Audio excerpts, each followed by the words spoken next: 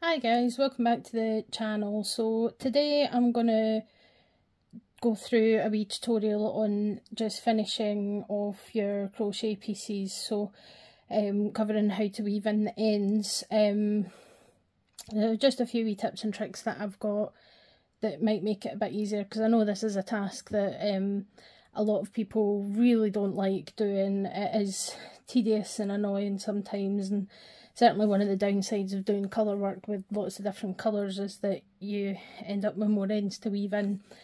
Um, but I'll just show you a few things that um, I do that make things a wee bit easier. Um, so here I've got, I've been working on, um, I've done the six day star blanket by the amazing Betty McKnit, so I highly recommend her patterns on her website um, and she kindly let me know that she's done a granny square version of the pattern. So my plan is to make eight squares and then make that into a cushion to match the the blanket. So I've finished three. So I thought I would bring you with me for um, weaving in the ends. And then um, next time I'm going to do a um, video about blocking. Um, sort of showing you what I use and how um, I do it to block them. That just really helps these pieces keep their shape. So um, this is one of the squares here, so you need that, and you need a yarn needle. Um, the benefit of a yarn needle, if you can see, is that the eye is quite big so that you can thread yarn through it.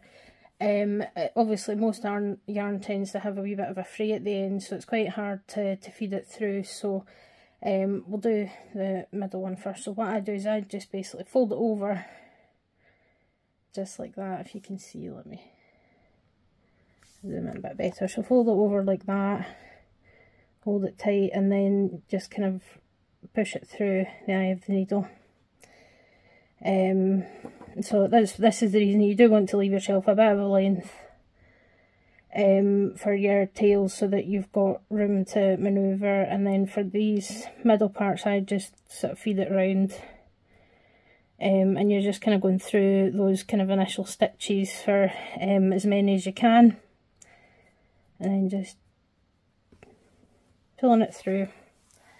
And then where have I put the and then what I like to do is just pull it out just a couple of millimetres snip it off and then when you flatten it out that end should disappear into the work. So that keeps that nice and secure. And then we've obviously got the end of the square where it's been fastened off so, uh, try not to drop your uh, needles on the floor, that's very annoying when that happens. Here we go, so same again, so we're just folding over the yarn and holding it quite far up and then it's almost a case of kind of rolling it over and then pushing it through the eye. And then that's you got your ends there. So for the this I tend to kind of go back through a couple of stitches there. And then just work your way along into the so these are kind of the, the bottom loops of the single crochets um, that make up the last round of this square. So once go through it, I usually try and go through at least an inch or so um, maybe longer. Just so that you've got plenty of wiggle room because if you leave your end too short and only weave in for maybe two or three stitches then there is more of a risk of it coming undone um, and slipping out. Whereas if you weave it in quite a distance that's much less likely that that's going to happen. Um, and then you can see it's, it's almost invisible not quite, but you would only see it if you're looking closely, and this is the wrong side, so um, if there is, depending on your project, if you've got a right side and a wrong side, then try and weave in on the wrong side, um, because then it's less likely that it's going to be seen. Um, as you can see on the right side of this, you can't see it at all, really. Um, it's very difficult to see, and then again, just pulling it a wee bit, snipping it off, and then it just goes back into the work and it stays nice and hidden and then there we go so that that's how I weave in the ends um, for these crochet pieces. It just, uh, yeah, this makes it all look very good. So that's that. Um, so this one's got a couple um, bits where I had to, um, some of this yarn got a bit tangled and I ended up having to cut it in a couple of places to fix it. So, um, but this one is where I've knotted on the the yarn. So we've got two um, two strands. So um, and it's actually perfectly possible. Just do the same thing, fold it over and hold it tight, and then you're just kind of rolling it over and sliding it through. A wee bit of a wiggle. And then you can do it with the two needles. Um, not the two needles, the two strands, I mean. Um, and then just do the same thing again and go through a few stitches and just like um, when I was explaining how to do the magic ring, um, gentle, even pressure is less likely to risk the yarn snapping or something going wrong. So when you're um, sewing or when you're trying to tighten something, um, you know, the temptation is just to yank it, but slow, even strength, um, pressure and just traction and just take your time and it'll it'll come and it'll it'll go.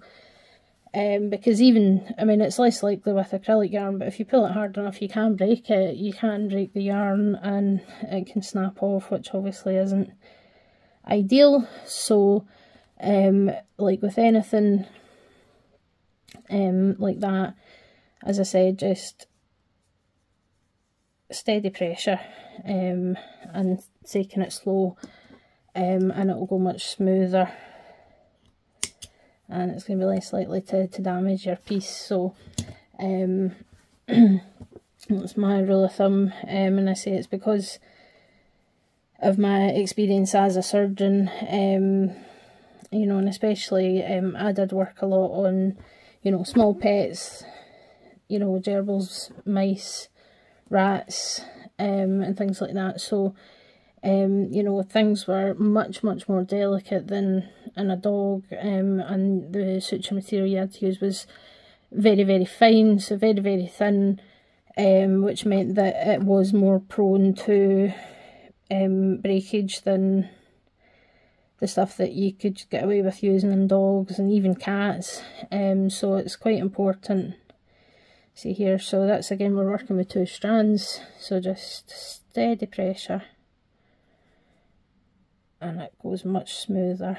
Um, so exactly the same as what I um, showed you for your magic rings is just to take it slow and just keep steady, even pressure. So even if it's stubborn, it'll give way. Um, so, and again, we'll slide it out just a few wee millimetres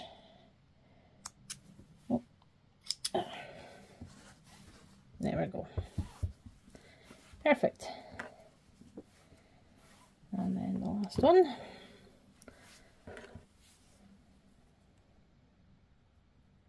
So again, folding it in half. And I say the trick is to, to kind of, say, just sort of roll it over and feed it through.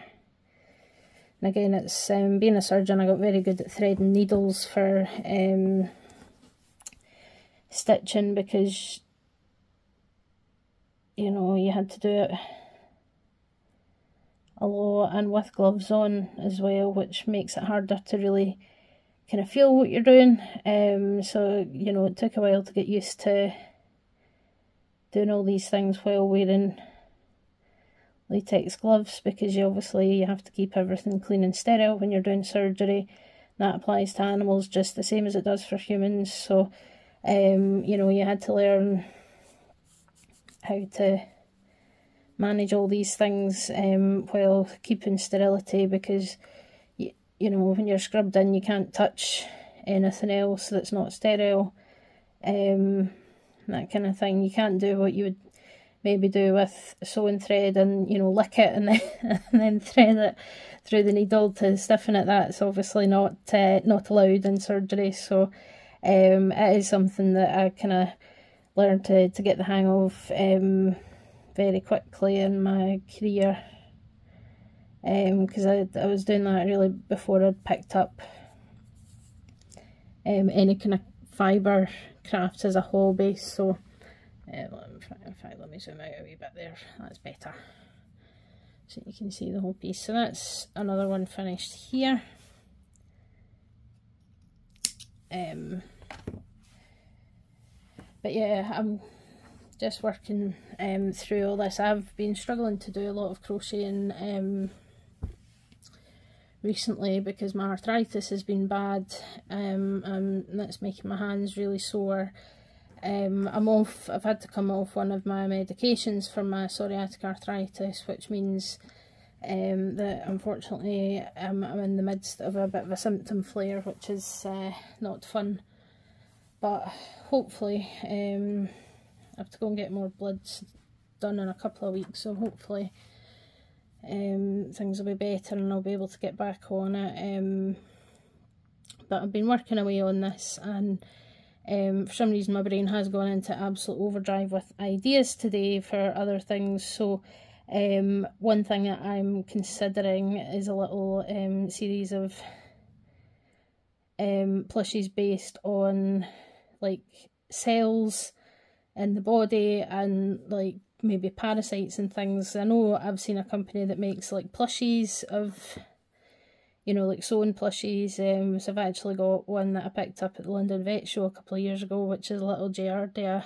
um, parasite. So Giardia's a little protozoal parasite.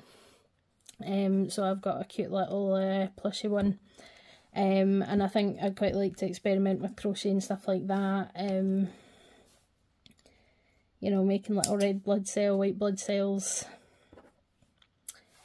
um, you know, fun stuff like that, we'll see, um, but it's, it's an idea that's kind of popped into my head that I'm toying with, so, um, I'd love to know what you think, um, if you think that'd be something fun, um, to do, and it might be quite a good little kind of pack of, um, patterns, so I could have, um, have a go at making my own version of Giardia, um, maybe do fleas, um,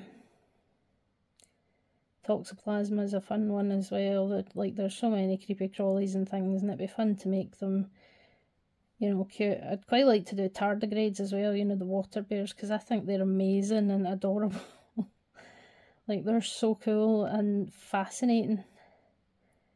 Um, maybe a horseshoe crab as well. That could be quite fun to go along with. Um, I see on my other kind of channel and things, I'm doing a series about the kind of creatures of fallout and all the um, insects and bugs and things. Then I'm going to move on to do the animals and, you know, the mirelurks are really quite interesting and they are kind of partly based off the horseshoe crabs. But again, horseshoe crabs are fascinating. There's a lot of kind of interesting research being done on them, you know, in the context of kind of medical stuff, um, which is fascinating. And if I remember rightly, this um, I need to double check this for sure, but I'm pretty sure their their blood is actually blue. Don't know. I'm just rambling, but at least if I put these ideas here, then um, I'm more likely to remember to actually look into them. The problem is, is that have too many ideas and not enough time to do them all when I think of them. But there we go. So that's three granny squares down. Um, so I'm going to end up making a total of eight. And then we'll join them together. And I'll also up a cushion um, to the right size. So um, I've got some spare pink cotton that should work really, really nicely alongside this yarn. Um, so we'll a cushion, we'll put these together. Um, so that's the kind of method to weaving in the ends for um, sort of flat crochet pieces like this. That That's the technique that I use. And just a couple of wee hints and tips for threading the yarn into the, the needle. Um, that just make it much much easier um, because that's something I know I struggled with um, for a while but I've kind of got the, the knack of it now so hopefully that's helpful for you. And I say next time we are going to do some blocking. So I've got these and I've got some of the washcloths that I've made that I need to block. So um, we'll be getting that done um, so hopefully you'll join me for that. Um, and thanks for watching. Hope this helps. And um, any thoughts drop them in the comments. See you later. Bye